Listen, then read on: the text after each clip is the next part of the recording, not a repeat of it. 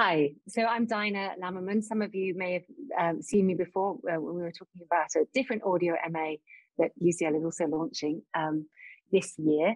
Uh, so the exciting thing is this MA we're talking about today is part of a tranche of audio activity that's happening at UCL at the new UCL East campus, which is going to be a very exciting, um, very heavily well resourced um, site, particularly for audio um, activity or audio work, which we're very, very pleased about.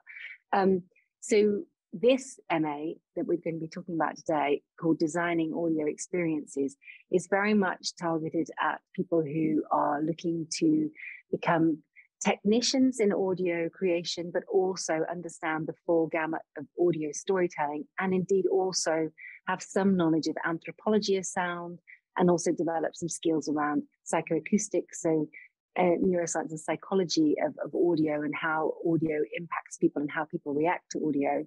Um, and the goal will be to produce people who have that sophistication of understanding and ability with audio to be able to make really quite complex audio installations, mostly around spatial audio, binaural audio, whether that be for virtual reality, whether that be for a, uh, an exhibition installation, or um, um, or another another platform. Um, we uh, I've been working on it with my colleague Jack, who I'll hand over to in a moment to, to introduce himself. We don't yet have anybody in post to lead this MA. We're just about to start the interviews for the person who's going to take over and run the MA, which is why you've got Jack and I, because we've been working together to design much of the curriculum and to explore the potential for the content for this MA. So I'll just hand over to Jack so he can introduce himself and tell you uh, more about why we think this MA is of particular interest at this time.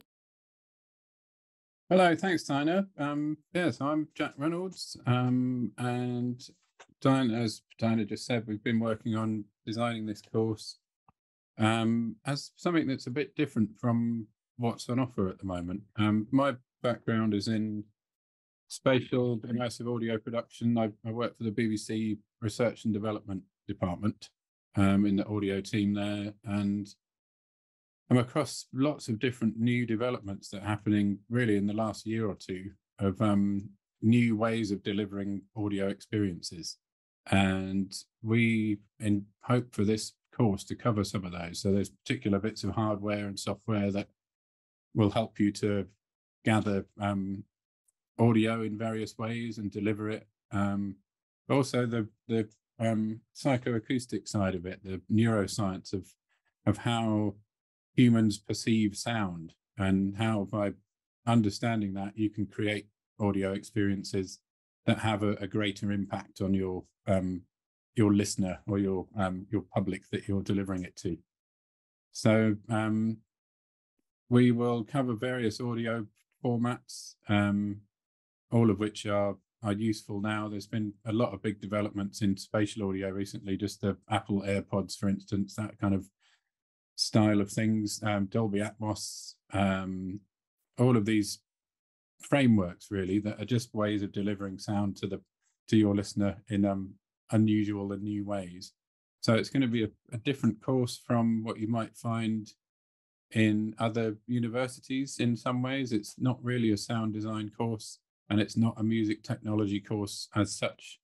Um, so you'll get kind of a, right, a wide range of, of learning, hopefully, that will give you some insight into a, a wide range of audio subjects and how to go from capturing sound, understanding how it all works, to delivering it to your to your listener.